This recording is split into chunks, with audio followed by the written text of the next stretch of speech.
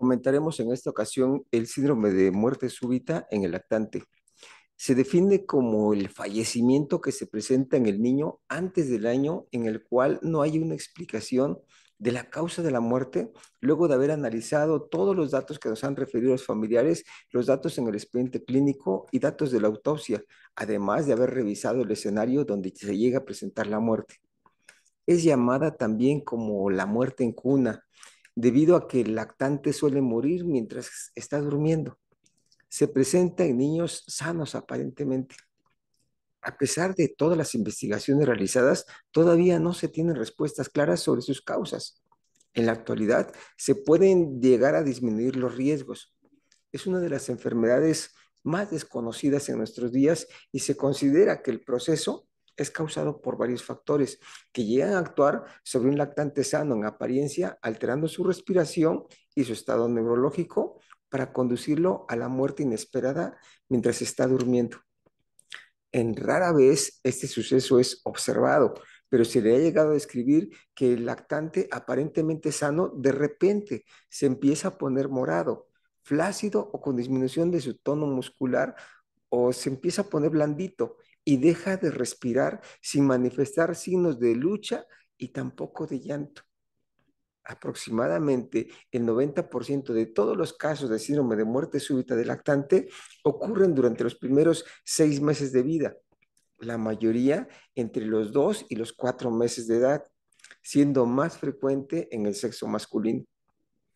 El riesgo de muerte súbita aumenta de tres hasta cinco veces en los hermanos de los niños fallecidos por este cuadro. La mayoría de los lactantes que fallecen por este síndrome lo hacen en la casa durante la noche y después de un periodo de sueño.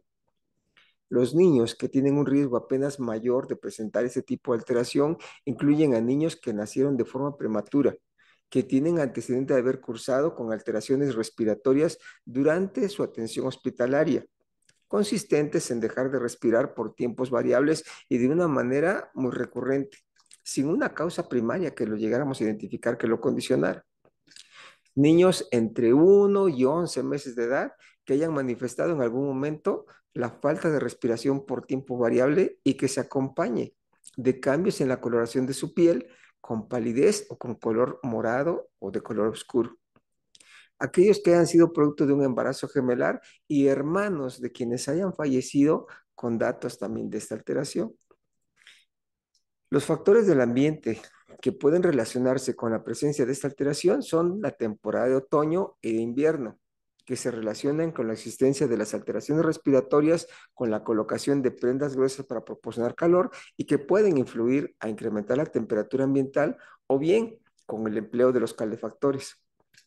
Aunque se desconoce la causa de forma específica, hay factores que elevan el riesgo de muerte súbita del lactante, tales como colocar al niño en posición boca abajo, abajo al momento de dormir, abrigarlos en una forma excesiva, exponerlos al humo del tabaco, acostarlos en una cama de superficie muy blanda, rodearlo de peluches o juegos de peluche y dormir en forma compartida. La explicación posible a esta alteración súbita, al parecer, está relacionada con la disminución de oxígeno que tiene un niño al estar respirando en una posición boca abajo y tener con ello oportunidad de respirar una cantidad relativamente mayor a la normal de su, de su propio dióxido de carbono que él está sacando o exhalando. De forma normal, estos factores influyen a modificar el tipo de sueño y el funcionamiento cardíaco y respiratorio para que el niño de manera normal o natural recupere la profundidad en el sueño cambie de posición y vuelva a recuperar el funcionamiento respiratorio y cardíaco. Pero al parecer en los niños afectados existe deficiencia en las sustancias que transmiten los impulsos neurológicos de forma adecuada para causar la respuesta al cerebro y como consecuencia continuarán sin reaccionar de su sueño e irremediablemente la función cardíaca y la respiratoria se va a ir deprimiendo de forma progresiva, al igual que su cerebro, para no condicionar siquiera algún movimiento de lucha o intento de recuperación y la depresión de sus signos vitales. Entonces se transforma en inevitable. Los factores entonces que establecen en forma preventiva una disminución en la posibilidad de su aparición pueden ser los siguientes. Mantener al niño acostado siempre boca arriba.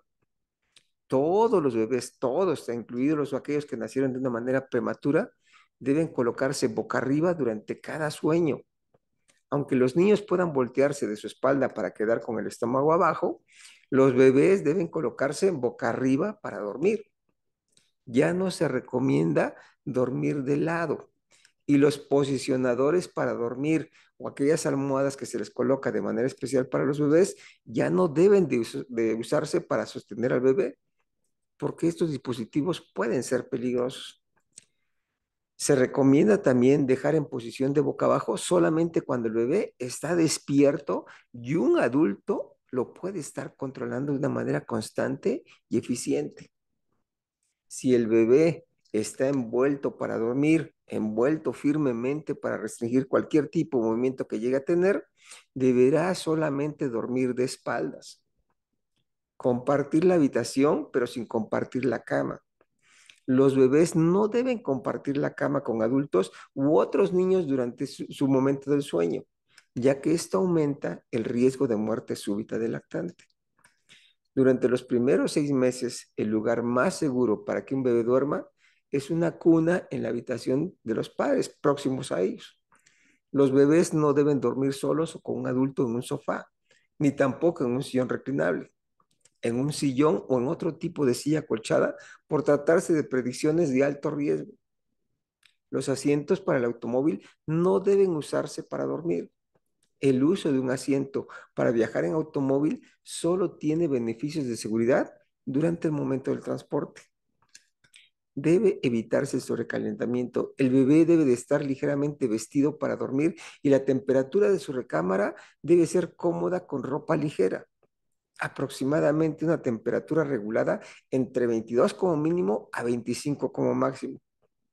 Si el bebé está vestido con su pijama, ya no se necesita más que una manta delgada. Los bebés no deben dormir al lado de un radiador o de un calentador o bajo la luz directa del sol. Un ventilador en la habitación del bebé podría reducir las posibilidades de sobrecalentamiento y ayudar a que circule el aire de una manera un poquito más eficiente.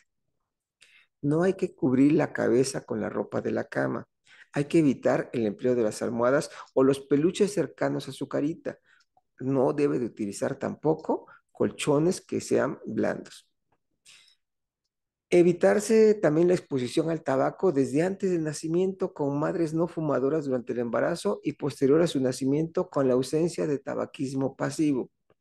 Los cuidadores del bebé y otros miembros del hogar deben dejar de fumar durante el tiempo en el que normalmente convivan con ese bebé en sus primeros meses de vida. Se alienta a los padres que no puedan dejar de fumar a evitar fumar dentro de la casa del niño y en espacios cerrados como puede ser el interior del automóvil. Más reciente, se describe la alimentación con seno materno en las primeras dos semanas de vida para garantizar la producción de leche y también se pueden utilizar en algunas ocasiones los chupones. Sobre esta recomendación del chupón, sabemos que existen efectos perjudiciales también asociados. Sin embargo, se han postulado varios mecanismos para justificar su empleo a fin de, evitar la muerte súbita del lactante. Y este tipo de justificación, obviamente, que sobrepasa a los otros que también pueden ser sus contraindicaciones. Evita que el niño se pueda dormir en una posición boca abajo protege la continuidad de la vía aérea superior y disminuye la posibilidad de que se dé un reflujo del estómago hacia el esófago, que es un reflujo gastroesofágico, a través de un mecanismo de succión que va a estar haciendo el niño de tipo no nutritivo y disminuye su umbral para despertarse de una manera un poquito más fácil. Se puede emplear el chupón al inicio del sueño, pero que no se vuelva a insertar una vez que el bebé ya está dormido. En niños alimentados con fórmulas desde el inicio de su vida, se ofrecerá el chupón desde los primeros días de vida a fin de evitar el síndrome de muerte súbita. No se le debe untar de soluciones dulces.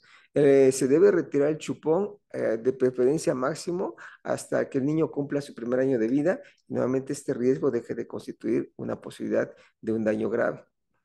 La muerte súbita e inesperada de un bebé produce enorme dolor a los padres y sus familiares y hace necesario un tratamiento psicológico para evitar las situaciones de angustia derivadas de esta pérdida.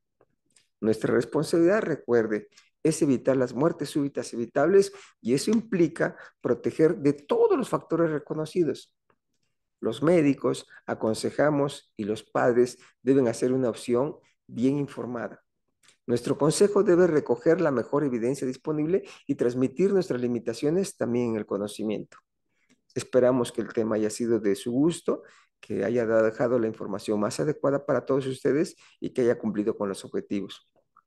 Si es así, los invitamos a que le marquen con un like a este video, lo puedan compartir a través de sus redes sociales y de los enlaces a otros compañeros o familiares. También aprovechen de los enlaces que se encuentran disponibles al final en este canal de video para que nuevamente lo puedan ustedes eh, transmitir o dárselo a otros familiares para tener acceso al blog con otro tipo de información que ahí se describe, con la posibilidad de poder tener traducción a otros idiomas y poder también adquirir eh, los libros en una forma electrónica o en una forma física para que ustedes tengan esta información disponible en su casa y no necesariamente a través de estos videos hasta que se lleguen a publicar.